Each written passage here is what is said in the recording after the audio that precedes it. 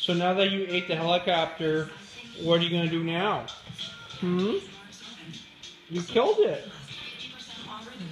I can't solder that, Penny. There's no soldering to that. So you're just going to have to catch a real squirrel or something.